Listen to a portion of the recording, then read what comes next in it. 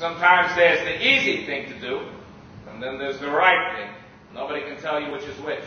It's up to you.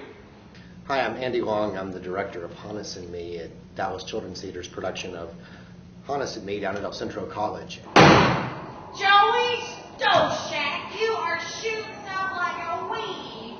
This story of this kid who is caught up in this very complicated issue in these very modern times doesn't necessarily fit in. He's a little bit awkward. He's not the great athlete. He's not the great intellect.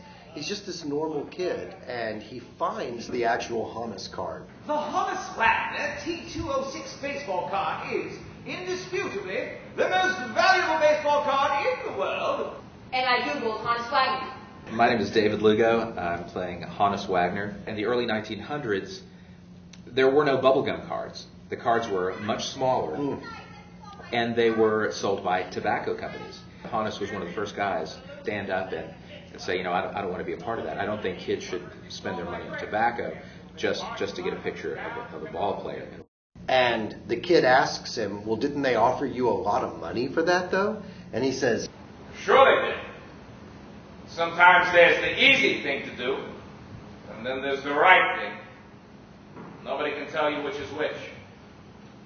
It's up to you.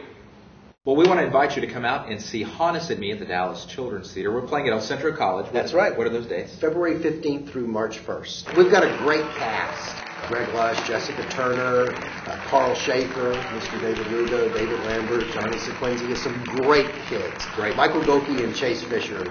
Come see us, guys.